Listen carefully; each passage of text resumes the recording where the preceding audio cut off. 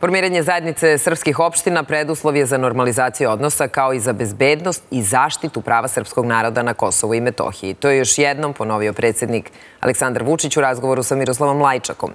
O Kosovo i Metohiji i evropskoj budućnosti Srbije Vučić će nastaviti razgovore sa specijalnim izaslanikom Evropske unije i danas. S druge strane, Kurti kaže da sa svojim saradnicima razmatra 15 modela za zajednicu srpskih opština, koje je Prištini ponudio Lajčak. Tvrdi da neće praviti kompromise kada su u pitanju ustavnost, zakonitost i funkcionisanje države. E sad, koja je sudbina Evropskog plana za Kosovo i Metohiju? Da li će u Ohridu biti napravljen barem neki korak ka normalizaciji odnosa Beograda i Prištine? O tome ćemo ovoga jutra sa mojim gostom, Dragan Šutanovac, predsjednik Saveta za strateške politike, inače divši ministar odbrane. Dobro jutro i dobrodošli i hvala vam što ste u ranku. Dakle, e, o čemu mi danas e, pričamo ako imamo Kurtija preko puta Vučića koji ima stav kakav ima? Pa mislim da ozbiljni državnici koji su odgovorni prema građanima koji su ih birali moraju stavove u određenim situacijama i da revidiraju ono što meni izgleda. Mislim na Kurtija pre svega. Pa ne mogu da kažem da je on ozbiljan državnik. Mislim da je on baš metilački faktor i da je on neku doživa neku reinkarnaciju nekog vremena koje je davno prošlo vreme. Međutim, on je u poziciji da, da odlučuje na, na, na Kosovu i mislim da će on pod, da se nalazi trenutno pod velikim pritiscima i da praktično mora da, da ispuni zahtev koji nije samo zahtev srpske strane, već kao što vidimo zahtev međunarodne zajednice koji se odnosi na zajednicu srpskih opština, što je potpisano još 2013. godine to što se on, da kažem, na neki način izlači, e, govoreći da to nije po ustavu e, e, Kosova, samo ide u prilog tome da on pokušava da izvrda formiranje zajednice.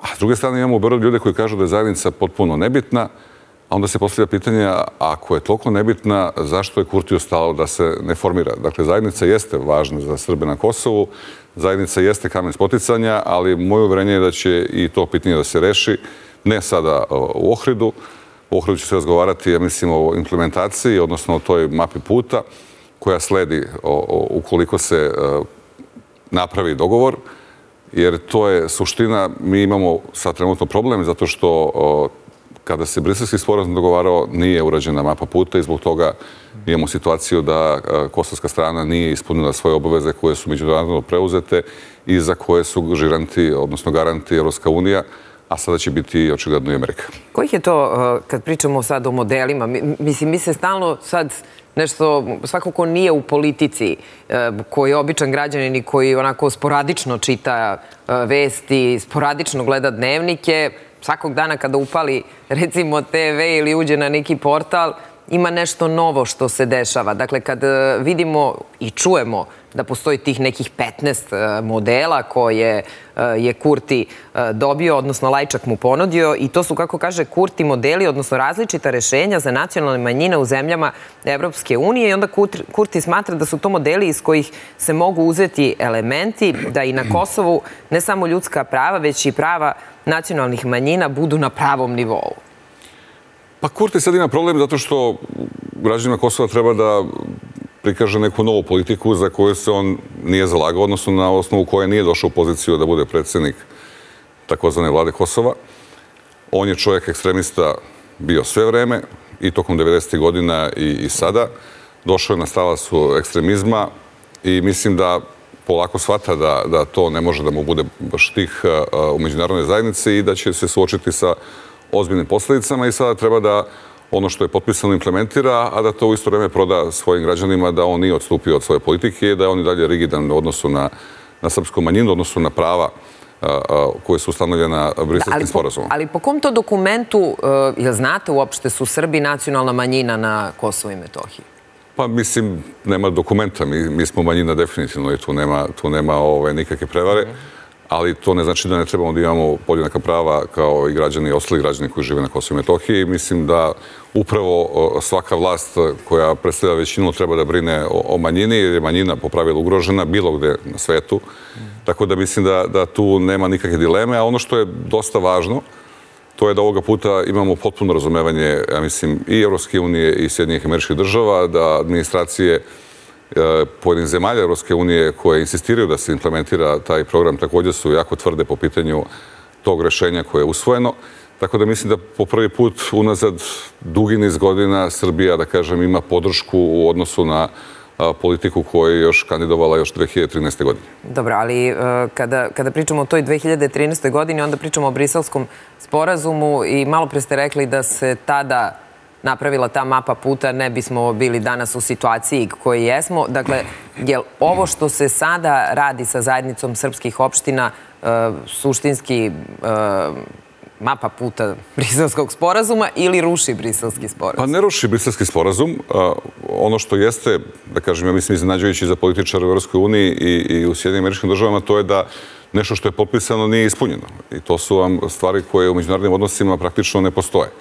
Ukoliko potpišete nešto na međunarodnom planu, to je starije, da kažem, vrednije od lokalnog zakonodavstva ili ustava, kako oni nazivaju taj ustav Kosova.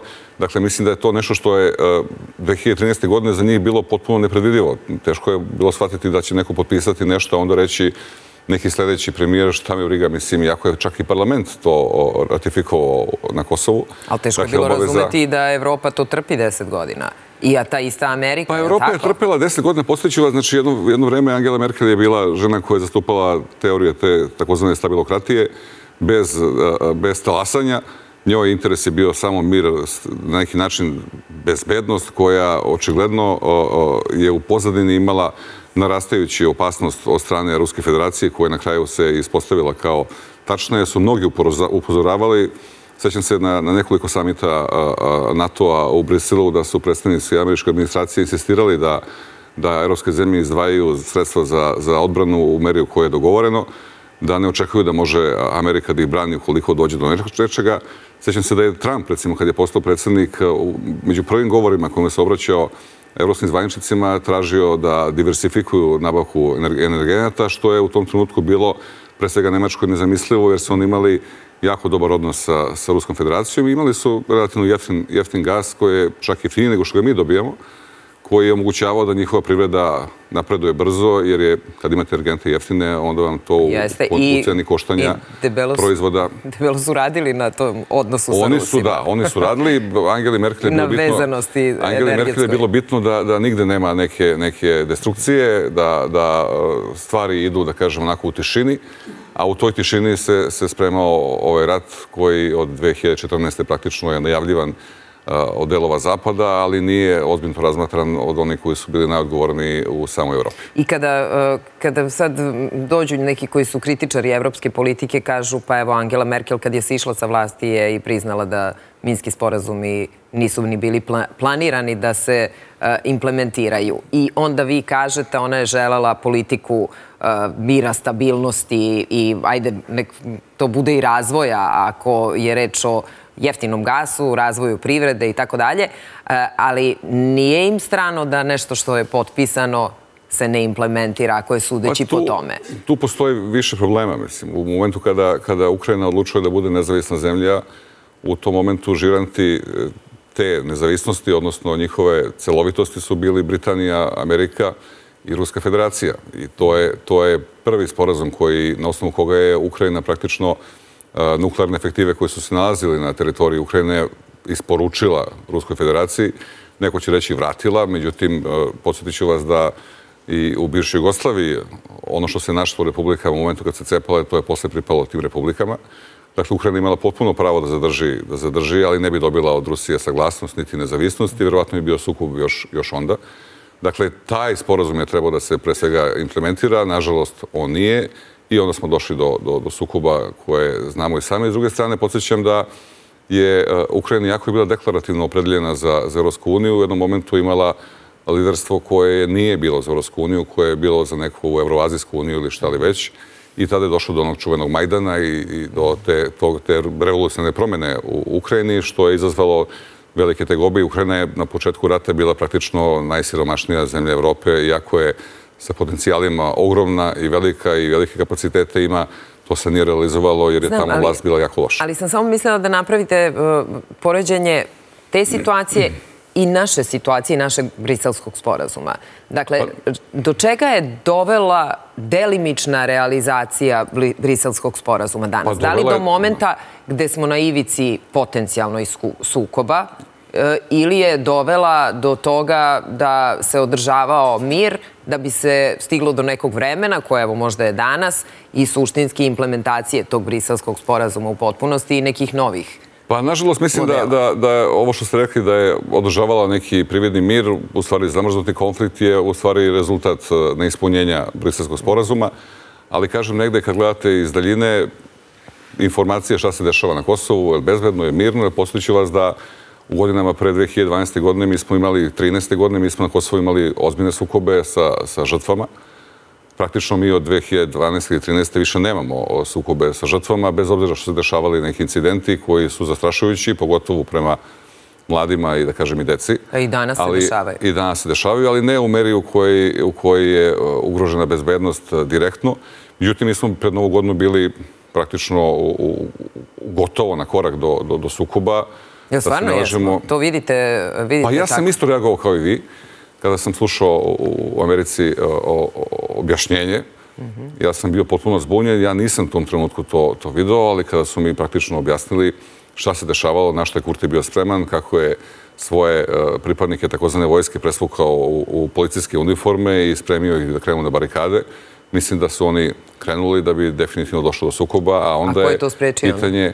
Ko je sprečila Kurtija je međunarodne zajednice, pre svega i administracija Sjedinjenih američkih država koja je to predvidjela i rekla to ne smije da se desi. Kao što je mnoge stvari na, na prostoru Zapadnog Balkana američka administracija spremila, evo taj, taj jedan moment koji u javnosti se redko pominje, recimo ulaz Hrvatske vojske u Banja Luku je spremila, sprečila američka administracija nakon Oluje, u toku Oluje oni su bili spremni da praktično do Brčkog dođu sa svojom vojskom, ali im je u to vreme e, Christopher Warren rekao da ukoliko krenu na Banja Luku, da će onda Amerika se založi da istočna Slavonija pripadne, pripadne Srbiji i to je bio znak da, da stanu. Kao na kraju krajeva i 17. marta 2004. godine, dok NATO nije izašao na, na ulice i praktično tog dana, što se jako redko pominje u javnosti, je više e, Albanaca poginulo nego, nego Srba, što, kažem, ovde se o tome i ne priča. Ti Albanci su poginuli pred svega od, od eh, NATO-a, od Francuza i Amerikanaca koji su sprečili dalje sukobe i dalji egzodus. Nema dileme da su Albanci u tom trenutku htjeli da urade etničko čišćenje i da praktično Kosovo bude samo albansko. Da. Kada eh, pominjemo Kurti, on kaže da će pre sastanka u Ohridu biti poznat praktično i dnevni red i sadržaje o kojima će se Eh, razgovarati u okviru rasprave o planu implementacije već dogovorenog sporazuma po tom evropskom predlogu, ali ne menjajući ništa eh, u njemu. Dakle, kad kažemo plan implementacije, eh, da li taj plan implementacije podrazumeva, odnosno da li je ZSO mimo plana implementacije ili je u okviru plana implementacije. To je ono što, što recimo možda ajde većina ljudi ne shvata. Pa to je, to je u stvari veliko pitanje, znači, jer, jer Kurti želi da tu priču ubaci u, da kažemo, novi sporazum. Mi se sa tim ne slažemo, mi želimo da se realizuje sporazum koji je već potpisan i nije nemoguće da to ide e, paralelno, da u isto vreme e, Kosovo krene u implementaciju briselskog sporazuma i formiranje zajednice srpskih opština, a da onda i ove druge stvari koje su planirane idu korak e, po korak. Ono što je važno, a što mi mislim da također građani nisu, nisu upoznati, E, nije onaj sporazum koji je ponuđen e, gotov. Znači, on će imati, e, on jeste kao takav osnova koja ne može da se menja, ali on ima nadgradnju. Znači, u toj nadgradnji treba da se priča o srpskim manastirima, crkvama, statusu naše kulturnog dobra koji postoji na Kosovu. Treba da se priča o bezbednosti. Ono što ja kandidujem, a verujem da ću razgovarati isto, a to je vraćanje imovine građanima kojima je ta imovina oteta na ovaj ili onaj način. Dakle, to sve mislite da može da se provuče kroz, kroz te Pa to je tačke. ono je mislim, ali okvir, to su stvari- A onda stvari- se ide u detalje, je li tako? To su stvari za, za koje ja ne vidim bilo koga sa zapada može da ima nešto protiv. Mislim. Također bi ja bi u taj sporazum ubacio i vraćanje Srba koji žele se vrate. Dakle, ako, ukoliko mogu da dobiju svoju imovinu, postoje ljudi koji bi se vratili na svoju imovinu. Dakle, tu postoji niz stvari koje još mogu da se dorađuju i za koje ne vidim da bilo ko na, na zapadu bi e, rekao ne jer imovina je na zapadu svetinja, ukoliko vam je to neko oteo, to, to mora da se vrati. Ukoliko Dakle, niste je- Rus.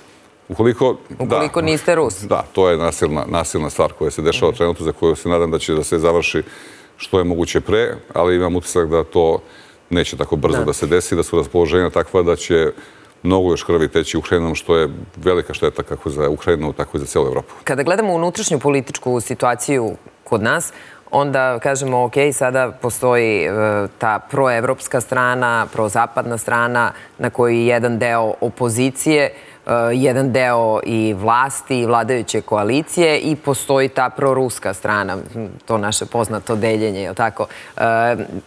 E, te je deo opozicije i opet deo vladajuće koalicije, takođe.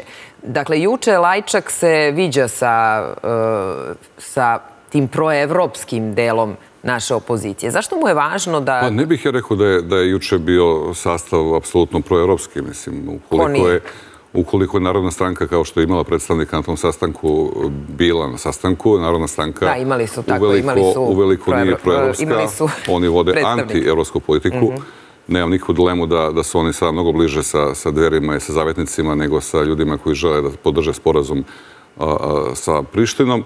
Dakle, mislim da se ovdje desilo nešto što je negde bilo predvidivo, a mislim da je loše. Šta? Pa stranke opozicije se opredeljuju prema sporazumu u odnosu na to kakav odnos imaju prema Vučiću. Dakle, oni kažu, mislim, mi ne volimo Vučića, želimo da smenimo Vučića i sve što stiže i što bi eventualno Vučić podržao i radio i sve što radi, mi smo protiv toga. Ali ovo nije stvar koja je za mene dnevno politička. Dakle, ovo nije most u Novom Sadu, pa smo mi protiv mosta, jedni su za most, što isto meni je absurdno biti protiv mosta. Ovo je stvar koja treba da opredeli budućnost Srbije i sve ono što nosi normalan život za našu decu. Dakle, nije više stvar nas, već je stvar našeg nasledđa. I mislim da ova šansa ne sme da se propusti, jer ćemo mi onda ostaviti zemlju u lošijem stanju nego što smo mi nasledili, što je bila potpuna katastrofa. I mislim da tu odgovornost mora da bude ljudi koji su na poziciji i opozicije i vlasti. Ne mislim da se pozicija, kao što ste rekli, e, deli. Mislim da će oni da nađu zajednički dogovor, da oni se treba da te ideje plasiraju u svojom biračkom telu i da se zato gaze kao po jajima da ne naprave neku grešku. Jer njihovo biračko telo jeste, e, da kažem, više desno nego ka Evropi s jedne strane. Ali s druge strane, mislim, meni je, da vam kažem, iskreno nejasno kako neko može da bude proevropska stranka, a da ne prihvata evropske predloge. Pogotovo u situaciji u kojoj mi kažemo da pet zemalja Evropske unije nije priznalo Kosovo, od Španije, Rumunije, Slovačke, Grčke i Kipra. Tih pet zemalja podržavaju taj sporazum, dakle one nemaju namro da priznaju Kosovo ni u perspektivi, podržavaju sporazum, a da onda mi imamo srpsku opoziciju koja je proevropska, a koja ne podržava sporazum i kažem, to je sada kao da je sporazum o Vučiću, a ne sporazum o perspektivi Srbije, što mislim da je velika greška. Postoji niz, izvinjam se, niz stvari o kojih može se zameri Vučić i ovoj vlasti niz predloga koji mogu da se daju i mislim da bi tu bila rešenja za opoziciju koje treba da traže, a kosovsko pitanje na neki način čak i nije fair na toj poziciji čekati Vučića, jer svi su bili na toj poziciji i niko to kosovsko pitanje nije rešio, a sada je sa ovim ratom u Ukrajini došlo do ubrzanja, jer evropske zemlje koje nisu u kapacitetu da rešavaju sukob u Ukrajini su se fokusirale na Zapadni Balkan i mi naprosto, ukoliko se opredelimo da budemo neko pusto ostrovo, oni neće imati veliki problem s tim, pošto, da vam kažem pravo, ja ne vidim i gotovo sam siguran da ne postoji građanin Evropske unije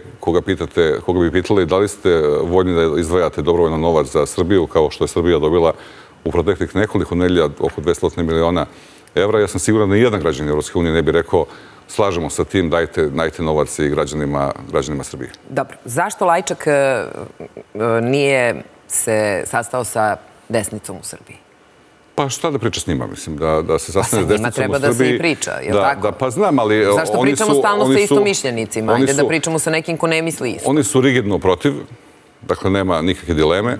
Mislim da je Lajčak, odnosno tim, preposledam ovde iz Evropske komisije u Beoradu, procenio sa kim može se priča i sa kim mogu da se neke, kroz neki fine tuning naprave neka razumevanja ovo što radi ova ekstremna desnica, mislim da tu praktično stvarno nema potrebe da se priča, pošto to je za mene populizam vrlo jasan šta god da su ovaj, imali priliku da čuju od Lajčaka, oni bi rekli istu stvar kao što su rekli u Skupštini Srbije. A šta je populizam? Dakle, oni organizuju protest 17. marta, dan uoči Vučićevog odlaska e, na Ohrid. E, e, kako mislite, šta je tu populizam? Pa populizam je kada na nekim... Možete da razumete vi recimo... Na bazičnim emocijama govorite stvari narodu koji to možda voli da čuje, ali narod nije svestan u kom pravcu taj bi brod išao ukoliko bi taj populizam postao državna politika. Dakle, ako vi kažete, znači taj čuvena priča, mi ćemo se baviti sami sobom i posvetit ćemo se sebi i mi ćemo svojim snagama rešavati svoje probleme. Ne postoji zemlja na svetu pa koja svojim snagama... Pa to dobro zvuči. To zvuči fenomenalno, ali Srbija ne može to da radi. Ja mislim da čak u Evropi možda nekoliko zemalja mogu da na taj način funkcionišu. Zemlje u svetu koje su veličine Srbije ne mogu to da rade. A reći ću vam, evo, prosto zašto. Mi u ovom trenutku preko 75% svojih proizvoda prodajemo u zemlje NATO-a, Evropske unije, odnosno NATO-a. NATO je u ovoj situaciji čak, ja mislim, moguće i veće tržište. Ukoliko bi se samo deo toga smanjio, mi bi bili u kolapsu. Ukoliko bi kompanije koje su ovde došle na preporuku svojih vlada E, zaustavile proizvodnju ili napustile Srbiju, mi bi bili još većim kolapsu, ne kažem katastrofi. Dakle, populizam je kada vi govorite ljudima ono što je milozvučno, ali kako da vam kažem, kad se kandidujete da vodite politiku i da vodite državu, morate da gutate žabe, a što bi rekao Zoran Đinđić, prvo gutate najveću, bit će vam posle lakše, ali su se oni opredelili naprosto da građanima šalju neke poruke koje jesu milozvučne, ali ne mogu da se realizuju. I politika je veština mogućeg, ono što oni žele, to je nemoguće. Dobro, ali e, kad kažete veština mogućeg, onda mi nismo političari, evo, svi obični građani, mi, mi se ne razumemo u to šta je politika, tako, nego imamo neki zdrav razum svako od nas u skladu sa svojim mogućnostima i kapacitetima. I zašto onda, e, e, zašto onda ne možemo da prihvatimo taj deo te opozicije e, da postoji drugi put. Jel postoji drugi put za Srbiju koji nije Evropa i Amerika? Ja moram da priznam da ga ne vidim. Znači, taj drugi put... Kako ga ne vidite? Pa nije svet... Bio bi mnogo vidljiviji. Mi smo, da smo mi recimo negde pored Kazakstana, e, tamo u dubokoj Aziji, verovatno je postojao i drugi put. Mi smo zemlja koja će biti kada se spusti taj neki novi gvozdani zid koji će biti između Rusije i Evrope, mi smo zemlja koja je duboko na zapadu, okružena zemljama NATO-a i Europske unije u širem kontekstu. Dakle, mi nemamo, nemamo mogućnost, znači da ukoliko Evropa odluči da nam, recimo, preseče gasovode, naftovode, ovaj, mi nemamo nikakvu mogućnost da, da izađemo iz problema. Dakle, mi u nekoj situaciji moramo biti svesni svog okruženja i tendencije e, svih zemalja u okruženju. Ne možemo da se izolujemo, odnosno možemo da se izolujemo, ali je pitanje da li je to ono što građani žele i da li smo mi građanima rekli u stvari šta može da se desi ukoliko se izolujemo. I mislim da tu u stvari postoji najveći problem što veliki broj e, građana misli da, da e, ovo vreme koje, u kome sada živimo neće se promeniti i ukoliko odbijemo taj, taj sporazum što je potpuno netačno. Mislim da, da e, ta priča o, ne znam, e, daljem pristupanju Europskoj uniji, o nekim vrednostima i tako dalje, mislim da je malo, malo pase. Trebalo bi konkretno reći građanima šta bi to značilo na njihov život. Svi mi imamo jedan život, neko veruje i u drugi život, nije sporno, ali ako će zbog tog drugoga da, da ovaj prvi prokocka, ja mislim da u većini to ljudi ne žele. Dakle, ako bi neko vrlo plastično objasnio šta bi to značilo na našu ekonomiju, kakav udar bi bio na našu privredu, kakav udar bi bio na džep svakoga građanina, kakva mogućnost postoji da nam se vrate ponovo vize, koje na kraju krajeva od novembra meseca mi ćemo morati da apliciramo ponovo za putem, putem interneta. Ukoliko nas odbijaju iz nekih raznih razloga, bojim se da bi građani onda malo, malo ne bojim se u stvari, mislim da bi građani onda malo ozbiljnije o tome razmišljali. Jer bi bila... Imaju pravo da vas odbiju? Pa imaju pravo, bez objašnjenja. Imaju pravo da vas odbiju i bez objašnjenja. I u ostalom, ako ste vi protiv Evropske unije, mislim što bi vas oni primili kako da vam kažem, mislim, mi, mi danas zagovaramo da se neko ne primi u Srbiju ko nam se ne sviđa a, i nama je to normalno, ali nije normalno da nas ovaj, ne prime ako im se ne sviđamo, što je isto normalno, kao što sam rekao, nenormalno je. Ja, kada kažu sankcije, a, da se vratim na ono što sam pričao, ja ne mislim da bi oni nas sankcionisali u smislu da bi nama sad oni nešto zabranjivali, ali naprosto nam ne bi dali da imamo prava koja trenutno imamo. Kao što nam trebaju vize za neke druge države u svetu, mislim, oni bi rekli šta je problem imati vize, mislim imate vize kao što imate za Ameriku, imate vize za Evropu, ne dajemo vaš više sredstva, zaobilazimo vas, ne trgujemo s vama, znači vi ste svoji kao što ste želi da budete, a u tome da smo mi svoji i sposobni da sami sebe izdržavamo, to je potpuno neistine laže, bez stranih investicija i bez stranih kupaca naših proizvoda, Srbija bi se svela na jednu zemlju iz neke tamo, ne znam ja, 60. godina, mislim što je bila katastrofa za sve koji žive ovdje. Bili ste na Tanjugu na dan, i time ćemo da završimo, na dan 20. godišnjica od ubistva premijera Đinđića u toj specijalnoj emisiji. Kako, kako se mi Srbi sećamo Đinđića na Ja moram da vam kažem, prvo bio sam na Tanjugu gde me zvao Marko lično, dečko koji, koji je momak koji vodi tu emisiju i bio jako ljubazan. Znači nisam želao da gostujem na jednoj televiziji tim povodom, jer e, gledao sam, e, baš taj dan sam gledao dosta medija i moram da priznam da imam utisak da, da je Zoran mnogo više zaslužio nego što je prikazano tih dana u raznim dokumentarnim filmovima i, i, i onome što je, što je prikazivano. Također me podjednako nervira i, i ta, ne znam, tri kolone na, na, na ovaj, kako se zove, na groblju, Plus šest tribina, porodica. Sve to nekako da, da je Zoran živ, eh, bio bi jako besan na sve njih i mislim da, da se niko od njih ne bi dobro proveo. Ali sam učestvovao u toj emisiji i moram priznati da eh, nisam osjetio da je prošlo sat i po vremena. Ja bih mogao o Zoranu da pričam, osnovno vi ste ga znali koliko ja znam jako dobro, mogu bi da pričam o njemu satima, a da ne pomenemo politiku ni, ni jednom. Znači čovjek te energije, i tog šarma i te brzine misli se redko sreće. Ja sam imao tu sreću da, da sarađujem s njim, da učim, da, da, da, da kradem nešto iz pa, njegovih... Pa svi smo bili njegovih, mladi kad je on bio na pa vlasti. Ja sam imao, ja sam imao, i u, ja sam imao tu sreću da negde od 98. I u nekom, nekim početcima, barem ja. Da, od 98. godine sam ja dosta često putovao s njim. Znači, ja sam sedao u kolima s njim. Recimo, ja i danas mm. pamtim kad sam išao prvi put sa njim za Zaječar. Mi smo krenuli iz Krunske ulice, stigli smo do Orača on je skinuo sako, okrenuo se prema meni i rekao šta ti misliš i onda smo krenuli da pričamo. I pričali smo tri sata, mislim, bez problema i u povratku isto tako. I u raznim situacijama sam bio s njim i zaista svaki taj trenutak je za mene bio radost, mislim, i dan danas se baš, onako da kažem, sa setom sećam svega toga. A onda pogledate nešto na televiziji i kažete ljudi, ja razumijem da vi ne razumete šta je čovjek radio, ali zašto izvrćete činjenice koje on nije radio, mislim, to je, to je u stvari problem. Da, i... Ja sam vas prekinuo, postavili ste pitanje koje nisam odgovorio. Nema, ne, nema veze. Ne, htela sam samo da vas pitam za kraj, šta mislite da bi, recimo, da je živ, evo, danas, i da je u ovoj situaciji u kojoj se svi mi nalazimo i u kojoj se u krajnjoj liniji Vučić kao lider nalazi, šta bi Zoran uradio? Pa evo da vas podsjetim, znači, postoji sada u javnosti velika debata apropo njegovog pisma koje je uputio liderima svetskim što se tiče Kosova. On ima filozofiju da ne čekate problem, mislim, i da, i da vi ukoliko... Ali sačekali smo ga. Pa mi jesmo, ali on nije. Mislim, nažalost, nije, nije preživeo, ali on je išao u susret problema. Mislim, i on nije dozvoljavao da ga problem zaokruži sa svih strana, pa da nema izlaz, već je išao u susret problema, pokušavao da rešava. I ja sam jednom prilikom pričao ovaj, da je on kao čovjek koji ima onaj prahir za, za ubijanje muva. I on će deset puta da udari i da promaši tri puta, a će sedam muva da ubije. Neki drugi političari drže taj prah i udare jednom, pogode jednom uvo i kažu mi imamo 100% uspeh. Ne, pa nemate 100%, mislim, ovaj čovjek je ubio sedam uva. Da ne govorimo o nekima koji zaspeju sa tim prahirom u ruci i reći kako se zove to prahir, ja ga zovem prahir. Da, ne znam, da. Znači, Zoran je čovjek koji bi, mislim, mnogo, mnogo ovaj, uh, agilnije išao ka, ka rešenju. Još u to vreme on to i pokušao.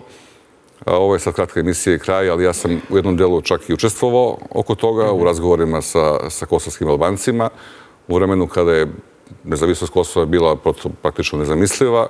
Mi smo razgovarali o mogućoj podeli Kosova, o drugim odnosima i ideji da i Kosovo i Srbija u najkraćem mogućem roku uđe u Europsku uniju i da se onda sve te granice pomere i da više zaista ne bude važno nikome, da se stabilizujemo na ovom regionu, jer mislim, mislim i suviše se bavimo nama u situaciji u kojoj svet ide ispred nas, a mi se mi nismo svesni da u stvari smo bukvalno jedno zrnce na, na svetskoj političkoj sceni i svetskoj ekonomskoj sceni i da to zrnice svako može zgazi slučajno.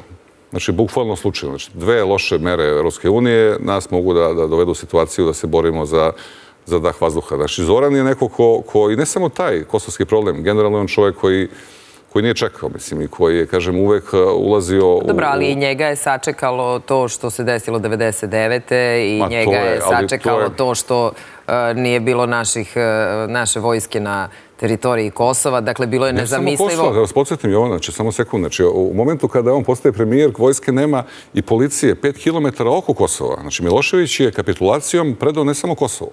Da smo mi izgubili suverenitet i 5 km okolo, što je jedna trećina površine celog Kosova. I mi smo imali pobunu Bujanovac, Preševo i Medveđa, mi smo imali praktično ratno stajanje. Zaboravili su ljudi da smo mi tamo jedno vreme ratovali dok nisu došli iz NATO-a i rekli da Srbija može da se vrati na na tu liniju sa, sa Kosovom, što je onda stabilizovalo celu situaciju. Znači, Zoranovo nasledđe koje, on, njegov, znači ono što je on dobio kao Miloševićevo nasledđe je bilo katastrofalno. I to je, mislim, isto jedan od problema što možda Zoran je pogrešio ili ne znam već ko je trebao da, da, da bukvalno taksativno pobroji sve.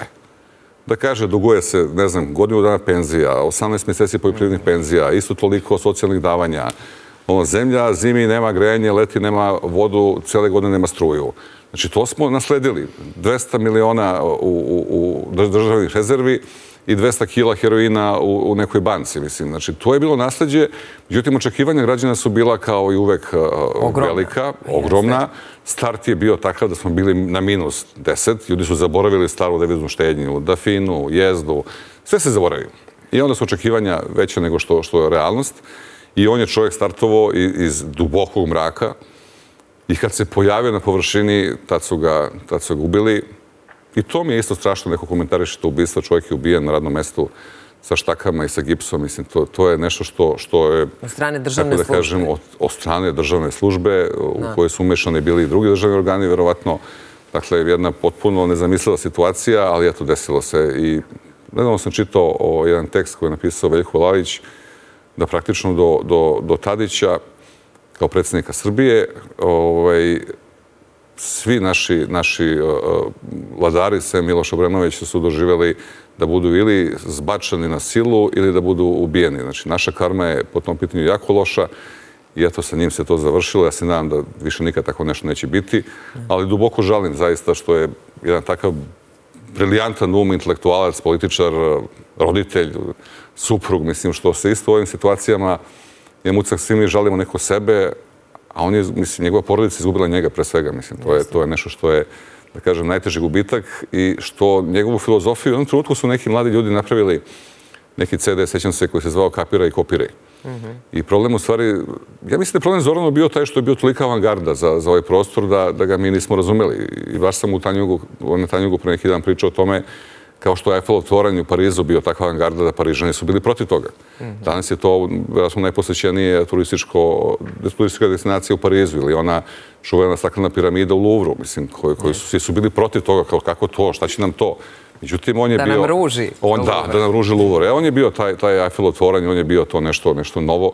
Međutim, ovaj, mi nismo voljni da prihvatamo nove vrednosti i da prihvatamo vreme u kome živimo i onda nas to tako poklopi. Tako je, ali međutim ja nisam ni sigurna da evo 20 godina od njegovog ubistva ga baš svi razumeju. A ne, pa neće ga razumeti svi oni koji... Mislim, imate ljude koji ne mogu da razumeju, imate ljude koji ne žele da razumeju, naprosto jer njima je onaj, mozak setovan da, da je, ne znam, zemlja radna ploča i onda žabe ulazite u, ošte u priču s njima. Hvala vam mnogo na gostovanju. Hvala i vam. I hvala vam na ovoj analizi.